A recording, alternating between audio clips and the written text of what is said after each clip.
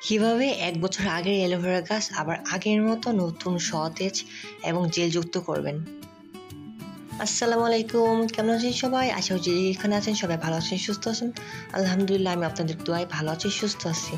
আমি আজকে একটি ভিডিও নিয়ে আসছি, তো আশা করি এই নতুন ভিডিওটি আপনাদের সবার কাছে ভালো লাগবে। আজকে যে ভিডিওটি, সেটি হচ্ছে অ্যালোভেরা গাছ। আমার এখানে একটি পটে, যে অ্যালোভেরা গাছটি দেখছেন, এখানে চারটি অ্যালোভেরা গাছ আছে, আর একটি ছোট অ্যালোভেরা গাছ আছে। আমি এখানে এই চারটি অ্যালোভেরা গাছ এক বছর আগে লাগিয়েছিলাম, আরও বেশি হতে পারে। এখন এই গাছগুলোর কীভাবে যত্ন নেবেন? এখন দেখা যায় কি পাতাগুলো জেলযুক্ত হয় না আর জেলটা শুকিয়ে আসে। নিচে যে জেলগুলো শুকিয়ে আসে, সেই জেলগুলো কিন্তু আপনাদের আগে তুলে ব্যবহার করতে হবে না হলে কিন্তু এরকম শুকিয়ে যাবে। অবশ্যই কিন্তু নিচে যে পাতাগুলো মোটা হয়, সেগুলো ব্যবহার করে ফেলবেন না হলে এখন ফেলে দিতে হবে।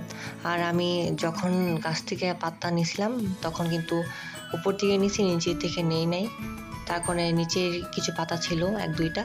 এখন আপনাদের যেটা করতে হবে সেটা হলো এলোভেরা গাছের নিচের অংশটুকু পরিষ্কার করে নিতে হবে। আজকের এই ভিডিওটিতে আপনাদের দেখাবো কীভাবে এক বছর আগে এলোভেরা গাছ বা আরও পুরনো এলোভেরা গাছের যত্ন কীভাবে নেবেন। আমাদের কিন্তু এরকম হয় যে এলোভেরা গাছ অনেক বড় হয়ে গেছে, যত্ন নেওয়া লাগবে।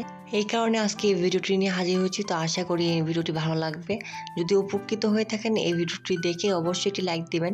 আমি প্রথমে এলোভেরা গাছের সব নিচের পাতাগুলো এবং একটু পরিষ্কার করে নিচ্ছি, না হলে খাবার দিতে সমস্যা হবে এবং এলোভেরা গাছ সুন্দর সতেজ হবে না। আমি কিছু পাতা তুলে নিচ্ছি নিচের পাতাগুলো। আপনারা যখন এলোভেরা গাছ থেকে পাতা সংগ্রহ করবেন, তখন যদি একটু ভালো করে পরিষ্কার করে ওই পাতাটা নেন, তাহলে কিন্তু এখন আর পরিষ্কার করতে হবে না। আমি যেহেতু শুধু এলোভেরা পাতাটাই তুলছিলাম আর যত্ন নেই নাই গাছের, আর তেমন পরিষ্কারও করি নাই সেই জন্য আমার এখন পরিষ্কার করতে হচ্ছে। তো অবশ্যই কিন্তু পরিষ্কার করে নেবেন। আর এখানে যে এলোভেরা গাছটি আছে, এই এলোভেরা গাছের পাতাও নেই নেই সেই জন্য নিচে পাতাগুলো তুলে নিচ্ছি, একদম শুকিয়ে গেছে। আজকে এই এলোভেরা গাছে কিছু উপাদান দিব, মাত্র তিনটি উপাদান দিব। আর আমার এখানে যেই চারটি এলোভেরা গাছ আছে, এখানে পাঁচ লিটার একটি পটে এই চারটি এলোভেরা গাছ আছে। আপনারা চাইলে কিন্তু একটি গাছও রাখতে পারেন। যদি একটি গাছ রাখা হয়, তাহলে সেই গাছটি অনেক মোটা তাজা হবে। আর যদি চারা রাখেন, তাহলে কিন্তু মোটা তাজা হবে না। অবশ্যই একটি গাছই রাখতে হবে, তাহলে অনেক জেলযুক্ত হবে আর গাছটি অনেক মোটা তাজা হবে। যদি চান, তাহলে পাঁচ লিটার বোতলে আপনি একটি গাছ রাখতে পারেন। আমি কিন্তু অ্যালোভেরা গাছের নিচের অংশটুকু পরিষ্কার করে নিচ্ছি। আমি এইভাবেই সবগুলো অ্যালোভেরা গাছ পরিষ্কার করে নেব। আর কিছু উপাদান দেব। আর এখানে একটি ছোট দেখলাম অ্যালোভেরা গাছ হচ্ছে আর কি ছোট সেটা তুলে নিলাম। তার কারণ এটি যদি থাকে এখন বড় গাছগুলো বৃদ্ধি হবে না। আর আমি চাইছি যে এখন বড় গাছগুলো একটু বৃদ্ধি হোক। আর এলোভেরা গাছে যে পাতাগুলো আছে, সেই পাতাগুলো মোটা তাজা হোক। আর এখানে যে এলোভেরা গাছটা আছে, এই এলোভেরা গাছটা অনেক বড় হয়ে গেছে। এখানে এই গাছটি ছিল, তারপরে চারা হয়েছিল। আমি এখানে একটি গাছই লাগাইছিলাম। এখানে যেই গাছটি এখন যত্ন নিচ্ছি, সেই গাছটি। তো আমি কিন্তু গাছ একদম ক্লিন করে ফেলছি। এখন এখানে উপরে দেখলাম আরেকটি বড় একটি পাতা আছে, সেই পাতাটা তুলে নিলাম। এখন এখান থেকেও কিছু পাতা তুলে নিচ্ছি। আর পাতা নিচেরগুলো ব্যবহার করাই ভালো। আমি এলোভেরা গাছে নিচে যে পাতাগুলো থাকে, যেগুলো ব্যবহার করা হয় না, সেগুলো শুকিয়েও গাছে ব্যবহার করি। আর এখানে দেখলাম যে একটি বড় গাছ হয়ে গেছে মানে চারা। তো সেটা তুলে নিলাম, আর দেখলাম এখানে একটি বড় গাছ আছে মানে যেই গাছটি প্রথম লাগিয়েছিলাম, সেই গাছের গোড়ায় হয়েছিল। তো তখন সেটা তুলে ফেলছি। আর আপনারা খেয়াল করবেন যে অ্যালোভেরা গাছের যে মাটিটা আছে একদম ঝুরঝুরে, আমি পানি দিই না, খুব কম পরিমাণে পানি দিই, কারণ অ্যালোভেরা গাছ কিন্তু পানি সহ্য করতে পারে না। বেশি পানি দিলে অ্যালোভেরা গাছের গোড়া পচে মরে যেতে পারে। এই কারণে দেখা যায় কি আমি অ্যালোভেরা গাছে বেশি পানি দিই না, খুবই কম পরিমাণে পানি দিই। আর যখন অ্যালোভেরা গাছ লাগাই প্রথম প্রথম, তখন একটু বেশি পরিমাণে পানি দিই। অ্যালোভেরা গাছ কিন্তু রোদ্রে রাখতে হয়, তো আপনারা কতক্ষণ রোদ্রে রাখবেন? আপনারা দিনে দু থেকে তিন ঘণ্টা রোদ লাগে এমন জায়গায় রেখে দেবেন অ্যালোভেরা গাছ। আর আমি কিন্তু উপরে যে মাটিগুলো ছিল, পুরান মাটি, সেগুলো তুলে নিছি। তারপর এখানে ডিমের খোসা নিয়ে নিচ্ছি। আমি কিন্তু ডিমের খোসাটা একদম শুকিয়ে নিছি, তারপর গাছের গুঁড়ে ব্যবহার করছি। আপনারা চাইলে কিন্তু ব্লেন্ড করে নিতে পারেন, তারপরে ব্যবহার করতে পারেন, এতে করে সব থেকে বেশি ভালো হবে। তার কারণ হচ্ছে মাটির সাথে খুব তাড়াতাড়ি মিশে যাবে। আমি হাত দিয়ে একটু ভালো করে ভেঙে দিচ্ছি। আপনারা চাইলে এইভাবে দিতে পারেন। যেভাবে দিতে সুবিধা হয়, সেভাবে দিতে পারেন। এখন আমি দ্বিতীয় যে উপাদানটি দেবো, সেটি হচ্ছে কলার খোসা। আমি এখানে যে কলার খোসাটা নিচ্ছি, সেটি হচ্ছে পাকা কলার খোসা শুকিয়ে নিছি, একদম শুকিয়ে নিছি। হাত দিয়ে ধলে ভেঙে যায় এমন। আর বেশি পরিমাণে শুকিয়ে নেওয়া হয়েছে। আর পাকা কলার খোসা কিন্তু আপনাদের অবশ্যই দিতে হবে। আমি এখানে পাকা কলার খোসাটা কেটে তারপরে গাছের গোড়া ব্যবহার করছি। আর এখানে আমি তৃতীয় যে উপাদানটি ব্যবহার করব, সেটি হচ্ছে চা পাতি আমি এলোভেরা গাছে যে চাপাতিটা দিচ্ছি, সেটি কিন্তু আমি শুকিয়ে নিয়েছি।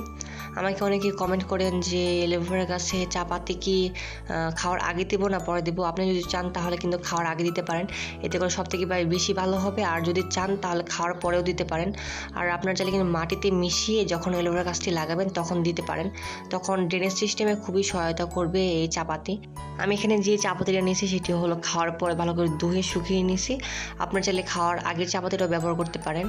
দেখেন আমার এলোভেরা গাছ কিন্তু অনেক বড় হয়ে গেছে। আর আমি চাইলে কিন্তু এখন এলোভেরা গাছ কেটে আবার বসিয়ে দিতে পারি এতে করে কিন্তু আবার গাছটি হবে, মারা যাবে না। আর নিচের যে অংশটুকু থাকবে, সেই অংশটুকু থেকেও কিন্তু চারা হবে। যদি আপনাদের এলোভেরা গাছ অতিরিক্তভাবে লম্বা হয়ে যায়, তখন আপনারা কিন্তু কেটে কেটে বসিয়ে দিতে পারেন, এতে করে কিন্তু আরও চারা হবে। আর আমি এখন উপর থেকে যে প্রথমে মাটিটা নিছিলাম সেই মাটিটা এখন দিয়ে নিচ্ছে, আর নিচে সেই উপাদানগুলো থাকবে। আমি উপরে মাটি দিয়ে নিচ্ছি আর আপনার চাই কিন্তু উপরে গোবর দিতে পারেন, তারপর আবার মাটি দিতে পারেন। আমি এখানে যেটি করছি সেটি হলো প্রথমে ডিমের খোসা, পরে কলার খোসা, পরে চাপাতি দিয়ে উপর মাটি দিয়ে নিছি আপনার চাইলে কিন্তু এভাবে দিতে পারেন, এভাবে করে গাছে অনেক পুষ্টি উপাদান পাবে, যেহেতু ক্যালসিয়াম আছে। আর আমি উপর মাটি দেওয়ার পরে এখানে পানি দিয়ে নেব। মাটিটা অনেক শুকনো হয়ে গেছে, এখন মাটিটা একটু ভিজিয়ে নিতে হবে। আমি কিন্তু উপরে পানি দিয়ে নেব। নিচে মাটিটা একটু ভেজা আছে আর উপরে একদম শুকিয়ে গেছে, যেহেতু উপরে রোদটা লাগে সেই কারণেই।